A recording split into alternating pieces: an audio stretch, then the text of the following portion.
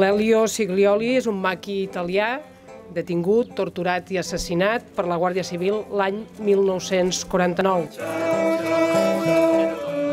Tenia 22 anys i tota la vida per endavant. Mort d'un tret a la cara. El van enterrar sense la dignitat que mereixem tota persona. Sepultat per la sorra i el silenci i l'oblit. En aquesta fosa sota el pes del feixisme. 70 anys després d'aquell assassinat a Boca de Canó, la Generalitat de Catalunya entrega les restes de l'idealista de l'Overe a la seva família. Reconegut gràcies al Pla de Foses i, i al programa d'identificació genètica, Elio Siglioli viatja de nou cap a Itàlia, cap a casa. Sí, sí, són 21, eh?